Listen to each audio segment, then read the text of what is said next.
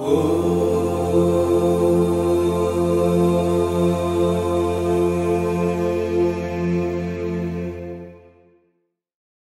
ശ്രീ സായിരാം. ഒരു സത്യസായി ഭക്ത കുടുംബം മകൻ പഠിക്കുന്നത് സ്വാമിയുടെ കോളേജിൽ തന്നെ. അയാൾ ഗ്രാമസഭയ്ക്ക് പോകുന്നതിൽ മാതാപിതാക്കൾക്ക് അത്ര താല്പര്യമില്ല. അവർ അവനെ അതിൽ നിന്ന് പലപ്പോഴും തടഞ്ഞു. മാതാപിതാക്കളുടെ ഈ സ്വഭാവം അയാൾക്ക് ആശ്ചര്യമുണ്ടാക്കുകയും ചെയ്തു. ഒരിക്കൽ ഭഗവാൻ ആ വിദ്യാർത്ഥിക്ക് അഭിമുഖം നൽകി. അവൻ തന്റെ പ്രശ്നം ഭഗവാനോട് തുറന്നു പറഞ്ഞു സ്വാമി അതിന് മറുപടി നൽകിയത് ഇങ്ങനെ. അത് നിന്റെ കുറ്റം തന്നെയാണ്. അത് നിന്റെ മാതാപിതാക്കളെ പഴിക്കേണ്ടതില്ല.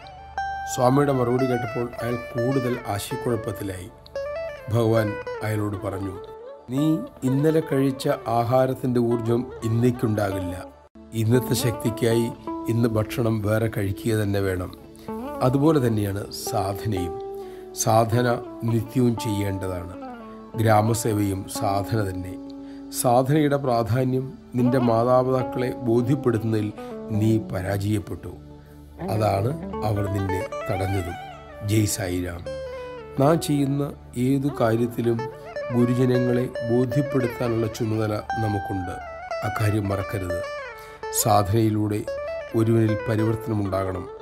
ആ പരിവർത്തനമാണ് മറ്റുള്ളവരുടെ മനോഗതിയെ സ്വാധീനിക്കുന്നത് നാം ഭക്തരാണ് എങ്കിൽ ഭഗവാന്റെ ഉപദേശങ്ങളുടെ സ്വാധീനം നമ്മുടെ ജീവിതത്തിൽ കാണണം അത് മറ്റുള്ളവരെ സ്വാധീനിക്കുക തന്നെ ചെയ്യും ജയ് സായിരാം जय बोलो भगवान श्री सत्य साई बाबा जी की जय